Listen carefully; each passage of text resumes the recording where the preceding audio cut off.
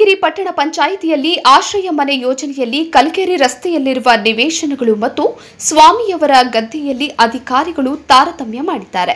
ಈ ಕುರಿತಂತೆ ಚರ್ಚಿಸಲು ಸೆಪ್ಟೆಂಬರ್ ಇಪ್ಪತ್ನಾಲ್ಕರಂದು ಸಾರ್ವಜನಿಕರ ಸಭೆಯನ್ನು ಕರೆಯಲಾಗಿದೆ ಎಂದು ರೈತ ಸಂಘದ ಅಧ್ಯಕ್ಷರಾದ ಗಣೇಶ್ ರೆಡ್ಡಿ ಅವರು ನಮ್ಮ ಜೆಎನ್ಎನ್ ಚಾನೆಲ್ಗೆ ತಿಳಿಸಿದ್ದಾರೆ. ಕರ್ನಾಟಕ ರಾಜ್ಯ ರೈತ ಸಂಘ ಹಾಗೂ ಹಸಿರು ಸೇನೆಯ ಕನಕಗಿರಿ ಕ್ಷೇತ್ರದ ಅಧ್ಯಕ್ಷರು. ಇವತ್ತು ನಡೆದಿರತಕ್ಕಂಥ ಪಟ್ಟಣ ಪಂಚಾಯಿತಿಯಲ್ಲಿ ಪೂರ್ವಭಾವಿ ಸಭೆ ನಡೆದಿರುತ್ತದೆ ಅದರ ಉದ್ದೇಶ ಪಟ್ಟಣ ಪಂಚಾಯಿತಿಯಲ್ಲಿ ಆಶ್ರಯ ಮನೆ ಯೋಜನೆಯಲ್ಲಿ ಸ್ವಾಮಿಯವರ ಗದ್ದೆ, ಕಲಿಕೇರಿ ರಸ್ತೆಯಲ್ಲಿರ್ತಕ್ಕಂಥ ನೂರ ಎಪ್ಪತ್ತೊಂದು ಜನ ಫಲಾನುಭವಿಗಳು ಉಳ್ಳವರ ಪಾಲಾಗಿರುವುದನ್ನು ಖಂಡಿಸಿ ದಿನಾಂಕ ಇಪ್ಪತ್ನಾಲ್ಕು, ಒಂಬತ್ತು, ಎರಡು ಸಾವಿರದ ಇಪ್ಪತ್ತೊಂದು ಶುಕ್ರವಾರ ಸಾಯಂಕಾಲ, ಅಂದರೆ ನಾಳೆ ಸಾಯಂಕಾಲ ಕನಕಾಚಲ ವೇದಿಕೆ ವೇದಿಕೆಯಲ್ಲಿ ಸಾರ್ವಜನಿಕ ಸಭೆ ಕರೆಯಲಾಗಿದೆ.